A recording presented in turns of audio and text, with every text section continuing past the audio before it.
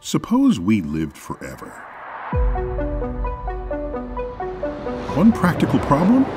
If everyone born never dies, In the early days of our country, there were only about 4 million people. And though we reported last year that the world's population grew by 100 million, and if people keep making babies, then Earth's population will rapidly outstrip the resources to support it. So the day we stop dying must also be the day we find another orb to accommodate our overproduction of air-breathing humans. This need for extra planets will never cease. But the universe is vast, and just in our small sector of the galaxy, the catalogs are now rising through 5,000 known exoplanets. We just need to invent terraforming technologies and either warp drives or wormhole transportation systems, and all will be fine. But why do we long to live forever? We want to live forever because we fear death. We fear death because we are born knowing only life. Yet we don't fear having never been born. While it's surely better to be alive than dead, it's even better to be alive at all than to not ever exist.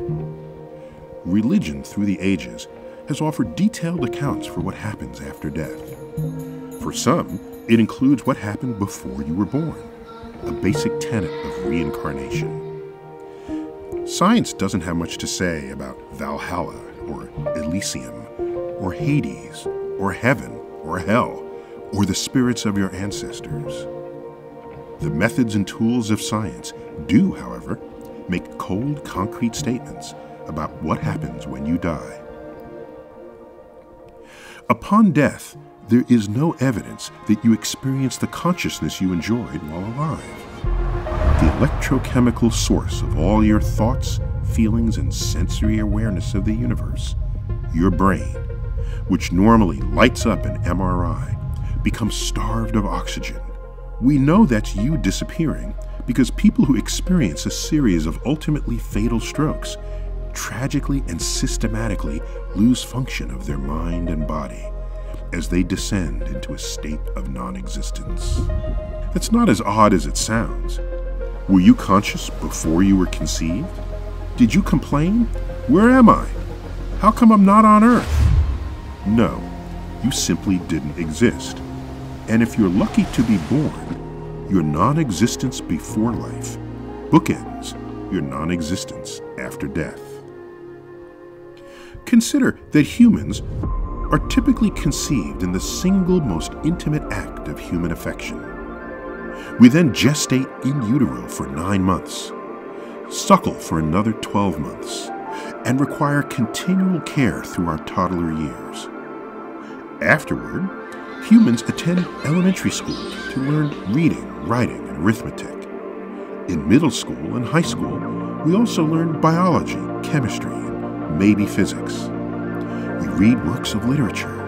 We learn history and the arts, might even play sports. Lifelong friendships germinate from these activities.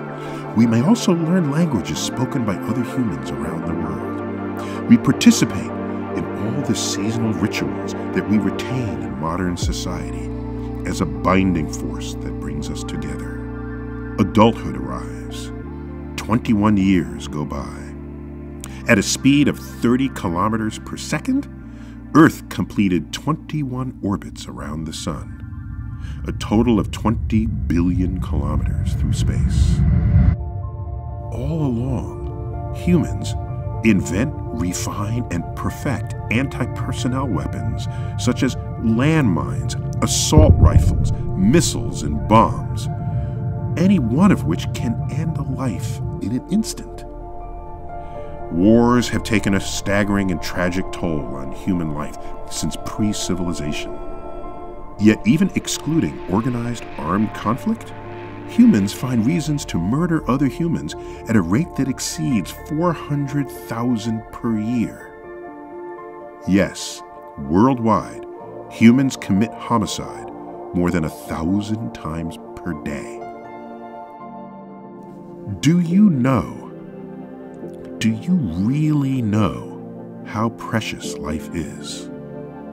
The total number of people who have ever been born is about 100 billion. Yet the genetic code that generates viable versions of us is capable of at least 10 to the 30th variations. That astronomically huge number is a 1 followed by 30 zeros, providing a million, trillion, trillion possible souls. Run through them all, and eventually we end up with you again, or at least your twin.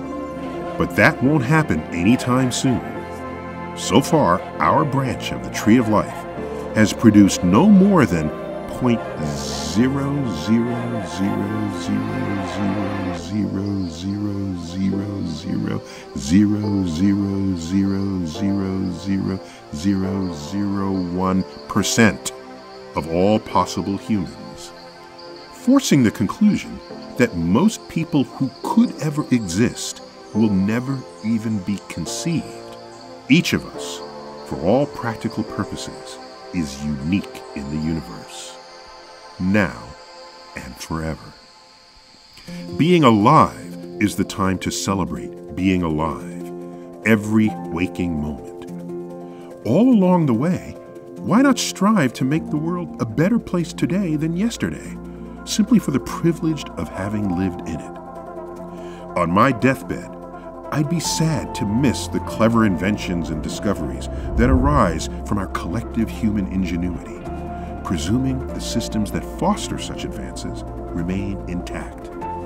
That's what fueled the exponential growth of science and technology in my lifetime. I'd further wonder whether civilization's arc of social progress will continue, with all its fits and starts, and thus reward any time traveler from the oppressed spectrum of humanity who chose to visit the future rather than the past. On the whole, I don't fear death. Instead, I fear a life where I could have accomplished more. An epitaph worthy of a tombstone comes from the 19th century educator Horace Mann. I beseech you to treasure up in your hearts these my parting words. Be ashamed to die until you have won some victory for humanity. Our primal urge to keep looking up is surely greater than our primal urge to keep killing one another. If so, then human curiosity and wonder, the twin chariots of cosmic discovery, will ensure that starry messages continue to arrive. These insights compel us, for our short time on Earth, to become better shepherds of our own civilization. Yes, Life is better than death. Life is also better than having never been born. But each of us is alive against stupendous odds. We won the lottery only once. We get to invoke our faculties of reason to figure out how the world works. We also get to smell the flowers. We get to bask in divine sunsets and sunrises and gaze deeply into the night skies they cradle. We get to live and ultimately die in this glorious universe.